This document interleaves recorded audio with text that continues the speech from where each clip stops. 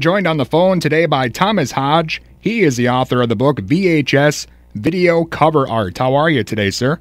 I'm good, thank you, and thank you for having me on. Yeah, absolutely. I'm excited about this book, and uh, obviously, I grew up in the 80s, so uh, everybody uh, had some memories of being at the video store. Is that kind of what led you to write this book, just kind of growing up in this sort of culture? Well, yeah, I mean, it's also the work that I do uh, with the poster, because I do film posters under the uh, Dude Designs. So, uh, Hobo with a Shotgun, Wolf Cop, Innkeepers, films like that, which are sort of harping back to this basically style of artwork, which is something that I loved as a kid and died around the sort of end of the 90s, basically with DVD. So it was there was this, and I, I love VHS still. I still collect it, but there's this amazing artwork out there that just a lot of people have never seen, and or have forgotten about now. So I mean, that was wanting to showcase this art and bring it back again to people was the big, the big push for me. So when it comes to the actual book itself, uh, what's the layout like? Is it just a, a lot of pictures of these old uh, covers, or do you kind of give a little synopsis of the film as well? Well, this is the thing, uh, because I've obviously got an introduction and a forward by uh, Justin's uh, Justin, God, what name's gone? Justin Ishmael from Mondo. But uh, for the actual film, for the actual covers, this is the first book that's ever shown the front and the back, so you get the whole cover and I was toying around with the idea of, of sort of writing sections for it, but I really wanted the the covers just to speak for themselves, and I didn't want to reduce the scale down. I wanted to get the covers as big as they could on the on the book pages. So with this, you also get the synopsis on the back, because that I mean that was the video cover. I mean it was it wasn't just a front image. It was the it's, it's the wonderful copywriting on the back, which is cheesy and completely inaccurate in places. Uh, so it's, it's a mixture of all those things, really. So yeah, you get to read the, the back of the books. I mean, also these are the collection uh, of, of uh, UK video covers. Uh, but the reason behind this was something, something from my experience that I've got a knowledge of. But it was also this is artwork that's not been seen out of the UK before, or Europe really, uh, and particularly won't have been seen in America. So while you sort of know the films, it's, it's, it's introducing a whole new range of artworks for films that you you do know and a lot you probably don't know. Yeah, when you think back to that time throughout the 80s and, uh, you know, even up till maybe the mid 90s, it seems like a lot of the box art had, you know, great artwork on it. It wasn't just stills from the films. And, and you're saying, you know, over in the UK, even uh, a second, a different copy. And you don't really see that nowadays. No, you can't. I mean, unless you're a sort of real avid collector, it's just impossible to get a lot of these, um, particularly in America. Um, particularly, I mean, now there's the big trend with, with new sort of new artwork for movies and uh, people like Mondo, uh, and this is again, this is an amazing celebration of the sort of the artwork that you've the original artwork that you've probably never seen, but also it's by a bunch of amazing artists as well, which as well. I mean, everybody knows Drew Struzan, but there's artists like uh, Enzo Sciotti, uh, Claudio Renato Casaro, uh, Laurent Melki, who produced amazing artworks as well that you know that need to be seen. And but yeah, I mean, it was brilliant. It was a brilliant, uh, inspiring time for films, particularly the VHS, because there were so many being pumped out every every week, and each one had to compete in such sort of close confines next to each other on the shelf, and you had that one image to sell it, and uh, so they were they they really went for it back then. Also, there's a lot of small companies, so there wasn't as much marketing, demographics, and all that sort of uh, to go through. It was just it was these small little uh, independent production uh, distribution companies setting up and just releasing these films uh, that, that, that allowed this sort of uh, climate to, to generate these amazing uh, images, really. And it was. I mean, it's a good celebration of, of, of film art. And I mean, I saw. I always saw the going to the video shop as a sort of almost like a gallery. With I just loved it as a kid, just seeing these walls and walls of these amazing, colourful images. I mean, they say in the book it's uh, these. Uh, it was full of busty women, mus- muscled men with moustaches, and nightmare-inducing monsters it, really sort of captivated me with my imagination, and it stayed with me all this time. And now that's what led me onto this uh, to the career that I do now with the film posters. I mean, it's totally inspired by that. and I think it's inspired a lot of people of the same generation to uh, to get into films and art, really. Yeah, for sure. Again, we're on the phone today with Thomas Hodge and talking about his book, VHS Video Cover Art.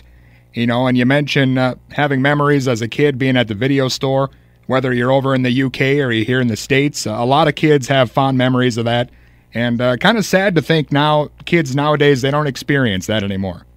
No, no. I mean, that is, that, that is a sad thing. And, and it doesn't inspire. I mean, particularly with kids downloading films now or, or, or streaming it doesn't have. And, and these images were your gateway into films, these these box arts and the the, the covers, and, and it sort of le- made you learn about things, inspired you. Well, not learn about film really, and inspire you to to find the next thing. And just text on a computer now, just it's not the same. And also, I mean, it was. I mean, I was. I mean, I'm sure everyone used to do the same thing. You used to sit on the sofa or the bed, and you'd hold the box in one hand and watch the film. It was kind of like a warm-up act for the film almost. Uh, so it was, yeah. I mean, it really did inspire, and it's a shame that the, the kids don't have that sort of. And even the film posters and then the DVD covers that are produced now, they're they're very. Everything looks very similar. It's sort of very homogenized, marketed. Uh, it's a shame, really. And this is this is really sort of independent creativity at a time when it was you know, still quite a new industry. And the film film industry, so the VHS took the film industry a lot by by surprise. They didn't think that people would want to watch these films over and over again, or even own films back then. So uh, yeah, it did sneak up a bit like the internet. Really, it did sneak up a bit on the big film companies. But it does seem like nowadays, you know, sort of like vinyl as well, uh, VHS collecting kind of coming back, and people are paying some some big money for some of these tapes on eBay. Yeah, some tapes go for thousands now. I mean, particularly in the UK, where there was the, the, the video nasty, where a load of films got banned, like Texas Chainsaw Massacre has been was banned for many years. So they really go for still high money. But uh, yeah, I mean, I particularly like it still because it's I mean DVD with a, and digital that can be easily sort of replicated. But if you get an old videotape and you stick it in, it's not been played for for 20 odd years. It, it's a sort of event. It's something you can't recreate. You can't duplicate that VHS and you can put it on your computer, but it doesn't have that organic feel to it really. And and you know, and watching a film to make an event of it is kind of what I enjoy about collecting these old films. Also, some of the titles, I mean, like the ones in you see in the book, uh, films like Demon Warp, uh, Edge of Terror. Uh, grave misdemeanors, but you, you, still don't hear of many of these films. So a lot of people are now coming across saying, "Oh, I don't know half these films." So there are still out there a lot that haven't made it into into the new formats. Well, and I have to assume, uh, as a guy who uh, is putting out a book about video cover art, you must have uh, a pretty extensive collection now. Yeah, I mean, I've uh, I've got about a thousand plus uh, tapes. Uh, I also visited two other collectors, Viva VHS and videocollector.co.uk, and so between it, I went. I was like selection of 9,000 tapes.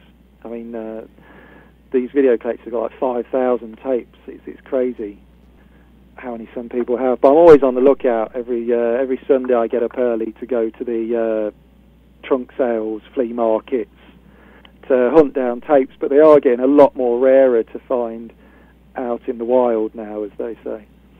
So, are you uh, kind of collecting just the uh, the UK covers exclusively, or the stuff you grew up with, or are you trying to get uh, the US variants too? Well, yeah. I mean, it's it depends what's around, really. I mean, again, you don't really get there's not much tape transfer from country to country. They tend to stay where they are due to there was America was NSTC and the UK was PAL format. So yeah, I mean, I've uh, I mean, I've had picked up a couple of German tapes because Germany did some amazing things. Complete again, completely different with the artwork for a lot. Uh, but I've got some of plastic embossed video covers that were just amazing from Germany. But uh, whatever whatever comes along, really, I'm, I'm, I'm you know open to anything as far as VHS goes. Well, and you mentioned too, you're kind of still out there keeping this uh, painting of the covers and stuff alive. I don't know. Is there really anyone else out there that's doing that sort of thing now? Uh, what collecting videos?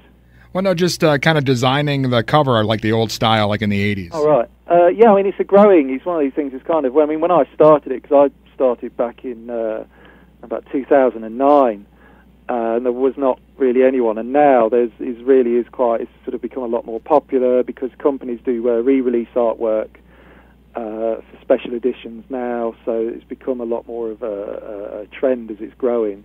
So, and hopefully, I mean, as, as sort of young designers are picking up the book, getting into this, because I mean, a lot there was a big trend for a while for sort of uh, minimum minimal poster art, and the thing I love about uh, video cover art is completely the antithesis of that. It's it's the least minimal thing you're ever going to find, but hopefully, it's going to turn you know younger artists and designers on to this sort of work like it did me and a lot of my generation, I think, to, to sort of get back in. Because I mean, the good big thing is that a lot of this is fun. I mean, it's it's, it's really it's just fun art, and uh, it'd be good to see a bit more come back for the studio films.